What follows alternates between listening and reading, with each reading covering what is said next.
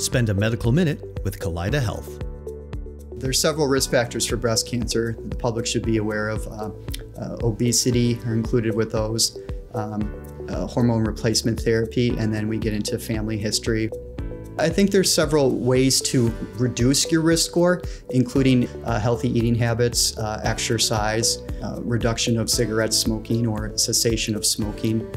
We recommend a uh, annual clinical breast exam by a practitioner, as well as uh, a monthly self breast check. Early detection saves lives. The smaller we can catch a breast cancer at, uh, the much better, you know, survival rate. So early detection is key. Um, not skipping uh, your mammogram, you know, presenting on an annual basis to have it. It is currently safe to get your screening mammogram because we do temperature checks, uh, mask precautions, and all of the equipment is cleaned prior to each patient. This Medical Minute was brought to you by Kaleida Health.